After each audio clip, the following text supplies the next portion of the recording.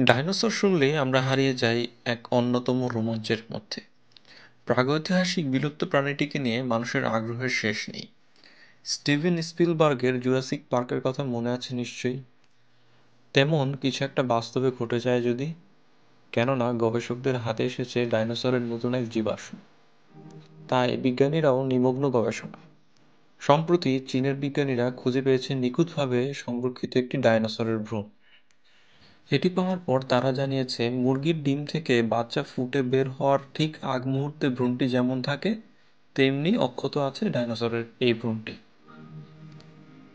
BBC জানায়, ডাইনোসরের যে ভ্রূণটি দক্ষিণ চীনের গানজোতে আবিষ্কৃত হয়েছে, তা কমপক্ষে ছেষট্টি মিলিয়ন বছরের পুরনো বলে মনে করছেন গবেষকরা। ধারণা করা হচ্ছে, এটি একটি দাঁতহীন থেরাপড ডাইনোসর বা ওভিরাপ্টোরসর এর নামকরণ করা হয়েছে বেবি ইংলিয়াং।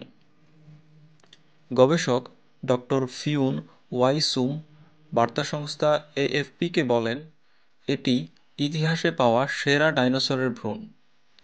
আবিষ্কারটি গবেষকদের ডাইনোসর ও আধুনিক পাখির মধ্যে যোগসূত্র সম্পর্কে আরও বেশি বোঝার সুযোগ দান করেছে। জীবাশ্মটি কুণ্ডলী পাকন অবস্থায় ছিল। যেমনটি দেখা যায়, পাখির ডিম ফোটার খানিক আগে।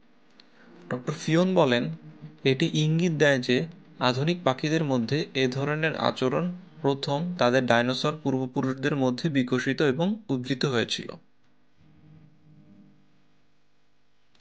ওভিরাপ্টোরোসরস যার অর্থ ডিম চোর টিকটিকি, ছিল পালকযুক্ত ডাইনোসর, যারা ক্রিটোসিয়াস যুগের শেষের দিকে, অর্থাৎ একশো মিলিয়ন থেকে ছেষট্টি মিলিয়ন বছর আগে বর্তমান এশিয়া ও উত্তর আমেরিকায় বাস করত।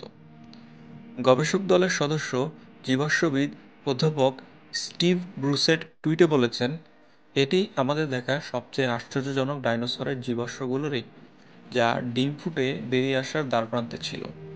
বেবি ইংলিয়াং মাথা থেকে লেজ পর্যন্ত দশ দশমিক ছয় ইঞ্চি লম্বা এবং ভ্রূণটি চীনের ইয়াংলিয়াং স্টোন নেচার হিস্ট্রি মিউজিয়ামে ছয় দশমিক সাত ইঞ্চি লম্বা ডিমের ভেতর রয়েছে।